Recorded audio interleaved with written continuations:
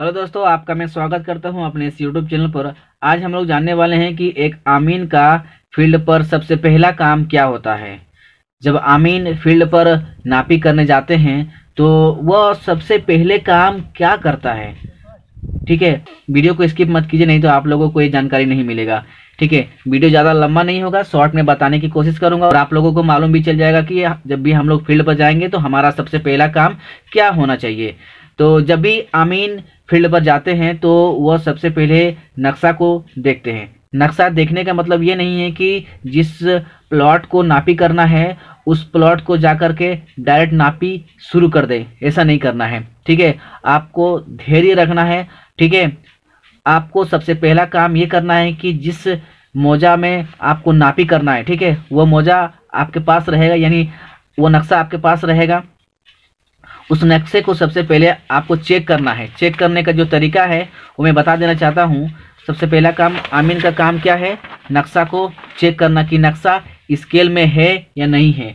नक्शा को स्केल में रहना बहुत ज़रूरी है। अगर वो नक्शा स्केल में नहीं है तो ज़मीन आप नाप नहीं सकते। ज़मीन आप नापें, नाप तो सकते हैं, लेकिन उसका एक अलग प्रोसेस है। उस प्रोसेस को किसी और टाइम बताएँगे। नक्शा को चेक किया जाता है। नक्शा को चेक करने के लिए सबसे पहले आपको देख सकते हैं ये जो देख रहे हैं, ये दहला है। इनको क्या कहते हैं? दहला। इन दो दहला के बीच की जो दूरी है, जो डिस्टेंस है, वह कितना होना चाहिए? दस चेन होना चाहिए। दस चेन दस चेन का मतलब एक हज़ार कड़ी। ठीक है? दस चेन का मतलब एक हज़ार कड़ी इन दो दहला के बीच की दूरी होनी चाहिए। तो मैं अभी इसको चेक करता हूँ। ये नक्शा ठीक है या नहीं? ठीक है?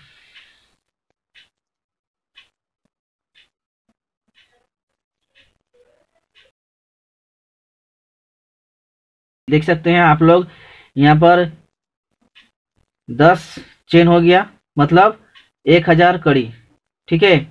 दस चेन मतलब एक हज़ार कड़ी, एक हज़ार पचास मतलब ये दस चेन से ज़्यादा है तो इसका मतलब इस नक्शा से हम लोग नापी नहीं करेंगे, ठीक है? इसी तरह से आप लोगों को वहाँ पर जेरोक्स नक्शा मिलेगा, लेकिन उसको सबसे पहले काम आपका यही होगा कि उस नक, उस नक्शा को आप सबसे पहले चेक कर लेना कि वो नक्शा आपका सही है या नहीं है। ठीक है?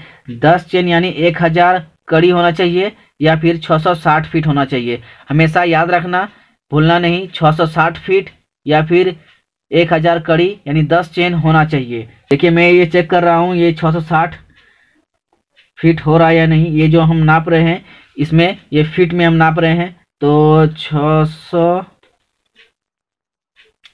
सौ छः सौ अस्सी छः सौ अस्सी कड़ी हो रहा है, यानी छः सौ साठ कड़ी होना चाहिए जिस जगह पर, वहाँ पर छः सौ अस्सी कड़ी हो रहा है, यानी सॉरी छः सौ साठ फीट होना चाहिए जिस जगह पर, वहाँ पर छः सौ अस्सी फीट आ रहा है छः सौ अस्सी फीट यानी बीस फीट ज़्यादा आ रहा है।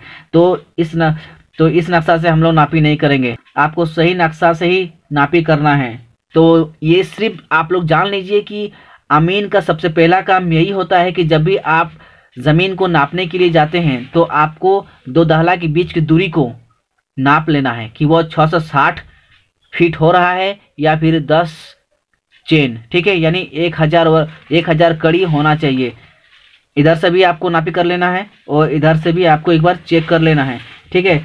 चार पाँच दहला आप चारों साइड से चेक कर लेना कि ये जो चेन है, ठीक है? ये जो दहला है सही है कि नहीं? देखिए, इधर से जब हम नापी कर रहे हैं ना तो ये परफेक्ट दस चेन में यहाँ पर आ जा रहा है। परफेक्ट तो इधर से हम नापी कर रहे हैं तो परफेक्ट ये दस चेन में आ जा रहा है। ठीक है? तो कहीं कहीं आपको दस चेन में आएगा कहीं कहीं आपको दस चेन से ज़्यादा होगा। तो उसको एवरेज से निकाला जाता है, वो मैं अलग वीडियो में आप लोगों को बताऊँगा। तो मैं उम्मीद करता हूँ आप लोगों को ये वीडियो अच्छा लगा है। और वीडियो अच्छा लगा है तो आप लोग लाइक कमेंट शेयर सब्सक्राइब ज़रूर कर देना। सबसे पहला काम क्या करेंगे आप लोग? ठीक है? सबसे पहला काम आप लोग को यही करना है कि वहाँ पर नक्शा को चेक करना है। नक्शा सही में 16 इंच बराबर एक माइल है या नहीं, आपको अपने स्केल से दो दहला के बीच की दूरी को माप लेना है। मैं उम्मीद करता हूँ कि आप लोगों को ये बात समझ में आ गई। धन्यवाद।